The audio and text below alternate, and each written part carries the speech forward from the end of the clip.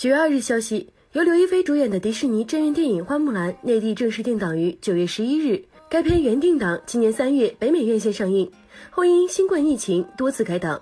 现在北美和全球别的一些市场的发行策略是跳过院线，于九月四日上线流媒体迪士尼家。没有迪士尼家的一些市场仍走影院。据悉，由刘亦菲主演的迪士尼真人版电影《花木兰》改编自源于中国民间传说的同名迪士尼动画，再度讲述花木兰女扮男装代父从军的故事。九月二日，花木兰发布造型特辑，聚焦片中木兰标志性的一身红衣。主演刘亦菲、导演尼基·卡罗和服装设计师丹尼·迪斯勒也出镜解读。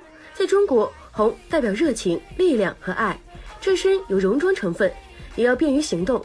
该片本周五九月四日登陆流媒体迪士尼家，中国内地院定档九月十一日，期待。